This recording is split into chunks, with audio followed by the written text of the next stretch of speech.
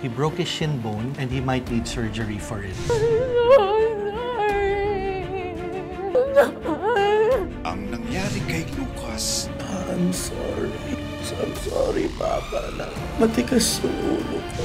isisisi ni Grace kay Andeng. Do you find it oddly satisfying na lahat ng mga anak ko malayo na ang loob sa akin? Bakit ganyan ka? Kasi